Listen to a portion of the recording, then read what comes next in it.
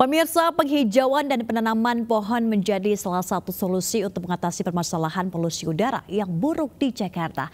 Berkontribusi untuk mengatasi polusi udara, PT Bank MNC Internasional (TBK) atau MNC Bank melakukan gerakan penanaman seribu bibit pohon di hutan kota Serengseng, Kembangan, Jakarta Barat.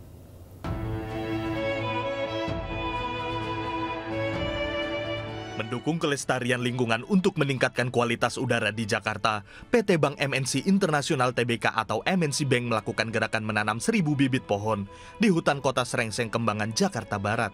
Berbagai jenis bibit pohon diserahkan MNC Bank, antara lain bibit pohon mangga, akasia, tabebuya, salam, lidah buaya, dan durian. Kita juga harus berkontribusi uh, secara sosial ya untuk memberikan uh, dalam mengatasi masalah lingkungan hidup ini ya terutama untuk polusi udara yang saat ini di Jakarta uh, memang lagi uh, bermasalah. Nah, harapannya mudah-mudahan pohon yang diberikan ada seribu pohon bibit pohon pada siang hari ini uh, dapat bermanfaat buat uh, khususnya buat kita uh, di dinas pertamanan dan umumnya buat uh, masyarakat DKI Jakarta dalam hal uh, mengurangi polusi udara maupun udara yang ada di Jakarta sedang sedang panas-panasnya sekarang.